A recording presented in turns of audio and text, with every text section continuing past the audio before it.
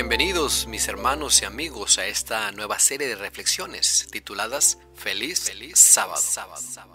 Su hermano y amigo Jonathan Ontiveros les saluda. ¿Cómo vivieron Adán y Eva la puesta del sol del viernes en el jardín del Edén?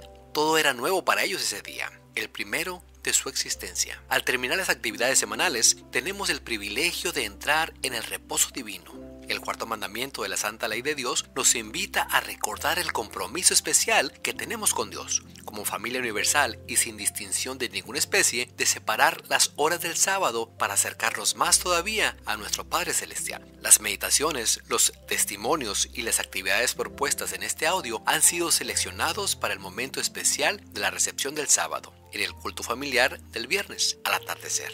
Esperamos que estas reflexiones sean una bendición para el hogar cristiano. Cada sábado será diferente, una verdadera delicia si nos proponemos comenzarlo como corresponde.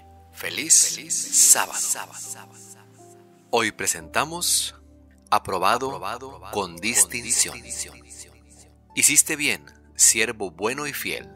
En lo poco has sido fiel, te pondré a cargo de mucho más. Mateo 25, 21. Agradecemos a José Sergio Miranda por habernos enviado este testimonio. Me matriculé para estudiar la carrera de Derecho en 1997, con el plan de graduarme en el 2001. Sin embargo, me recibí en el 2004. Todo esto fue porque estudiaba en el turno de la noche y, como fiel guardador del sábado, no asistía a clases los viernes. Muchas veces recurrí al departamento de alumnado para plantear mi situación, pero las respuestas siempre fueron negativas. También recurrí a la directora de la carrera y la respuesta de ella fue un poco más enfática. Busque otra facultad. A raíz de eso, me reprobaron dos veces en el cuarto año y una vez en el quinto año.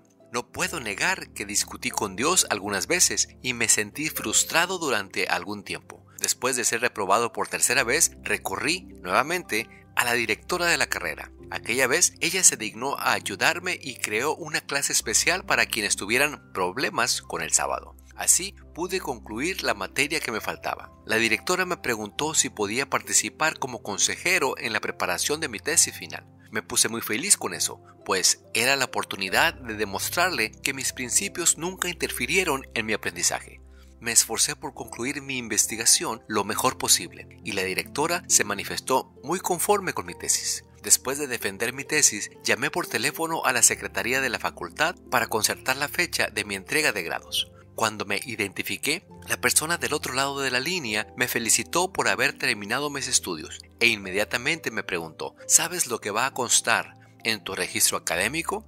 Y agregó, concluido con distinción. El día de la entrega de grados, el anfiteatro de la facultad estaba repleto de parientes y amigos de tres grupos diferentes de alumnos que estaban recibiéndose. Justo antes del solemne momento del juramento, la directora dijo, fin de realizar el juramento con el grupo, me gustaría llamar aquí al frente a un alumno especial. Le llevó ocho años recibirse, y todo porque tiene dos amores, el derecho y la religión. Él nunca asistió a la facultad los viernes de noche o los sábados, pero eso no le impidió recibirse con honores, y me llamó al frente. No necesité abrir mi boca. Ella había dado el testimonio en mi lugar. Yo pensaba que estaba siendo fiel a Dios, pero me di cuenta que su fidelidad conmigo superaba ampliamente la mía. Dios no trata nuestra fidelidad como una obligación, Él la recompensa. El Salmo 105 nos dice, Porque Jehová es bueno, para siempre es su misericordia y su fidelidad por todas las generaciones. Que tenga un feliz sábado.